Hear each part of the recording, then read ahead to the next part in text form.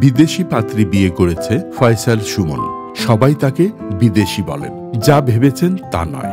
বিদেশি মেয়ে নয়। প্রবাসী একজন নারীকে বিয়ে করেছেন, যার হাত ধরে ফয়সাল সুমন বিদেশে থিতু হওয়ার স্বপ্ন দেখছেন। বিয়ে করেছেন মাত্র পনেরো দিন। এরই মধ্যে সবার যান ছালাপালা।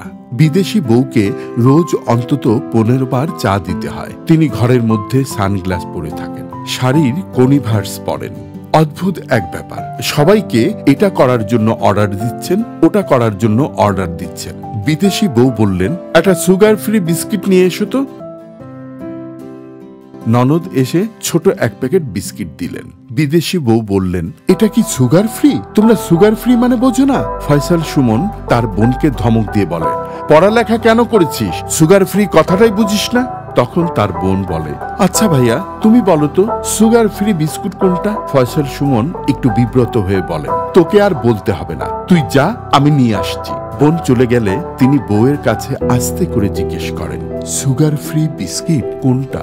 বিদেশি বউ এবার খুব রাগ করে বলেন, লাগবে না সুগার ফ্রি বিস্কিট, এমনিতে সুগার পড়ে যাবে তোমাদের এখানে থাকলে। দুপুরে কি রান্না করবে? ফয়সাল এবার হেসে বলে, এই দেশি মাছ দেশি মুরগি, সবজি, ডাল, চিকন চালের ভাত। বিদেশি বউ তুচ্ছ করে বলেন, এগুলো বাদ দাও তো, দুপুরে আমি শুধু পাস্তা খাব। ফয়সাল জোর দিয়ে বলেন অবশ্যই অবশ্যই আমি পাস্তা রাখতে বলছি।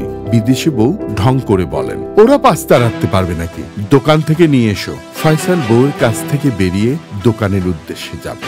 এমন সময় তার বাবা তাকে একটু আড়ালে টেনে নেয়। বাবা ফিস করে বলে, তুমি কি শুরু করেছ ফয়সাল চেনা নেই, জানা নেই, একটা বিয়ে করে আনলে। তুমি জানো আমরা খুব অভাবে আছি। এই মেয়েকে বিয়ে করলে নাকি আমাদের অভাব কেটে যাবে। আমার শত নিষেধ তুমি উপেক্ষা করলে। এখন বলো তো, আমাদের অভাব কি কেটে গেছে? আরে বাবা, তোমার বিদেশি বউয়ের ইচ্ছে পূরণ করতে করতে আমার ভিটে, মাটি সব বন্ধ রাখতে হচ্ছে। গত ছয় মাসে আমার যা খরচ হয়নি, এই পনেরো দিনে তার চেয়েও বেশি খরচ হয়েছে। ফয়সাল বাবাকে বোঝান, আব্বা, একটু ধৈর্য ধরেন আব্বা। আমি জাস্ট একবার বিদেশ যেতে পারলে সব ঠিক হয়ে যাবে। বাবা আক্ষেপ করে বলে, তার আগেই আমরা শেষ হয়ে যাব। আর এই কেমন মানুষ? শ্বশুর, শাশুড়ি, ননদ, সবাইকে অর্ডার করছে?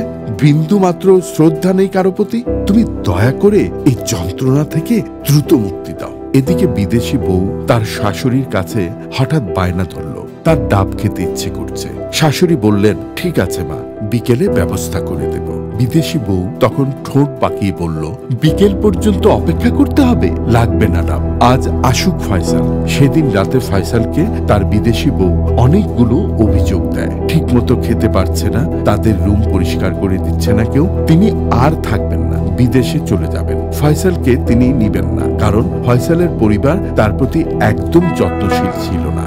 ফয়সাল রেগে আগুন হয়ে যায়। সবাইকে ডাকে ফয়সাল। মা, বাবা, সবাই আসে। সবাই দৌড়ে আসলে ফয়সাল বলে, তোমাদের জন্য আমার স্বপ্ন নষ্ট হতে পারে না, বাবা। তোমরা সবাই হিংসুটে। ইচ্ছে করেই আমার স্ত্রীর সাথে বাজে ব্যবহার করেছ। তোমরা চাও না আমি বিদেশে গিয়ে ভালো থাকি। তোমাদেরকেও ভালো রাখি। তোমরা এত বেইমান কেন? এভাবে অনেকক্ষণ বকাবকি করে ফয়সাল। তারপরের দিন সবাই ঘুম থেকে ওঠে বেলা দুইটার পরে ফয়সাল তার স্ত্রীকে খুঁজতে খুঁজতে বাহিরে আসে। তার বোন চোখ কচলাতে কচলাতে বাহিরে এসে বলে, ভাইয়া, মা কোথায়? আমার কানের তুল পাচ্ছি না। ফয়সাল মাকে ডাকে। অনেকবার ডাকার পরও মায়ের কোনো আওয়াজ নেই। বোনকে বলে, তুই মা বাবাকে নিয়ে আয়, আমি বউকে পাচ্ছি না।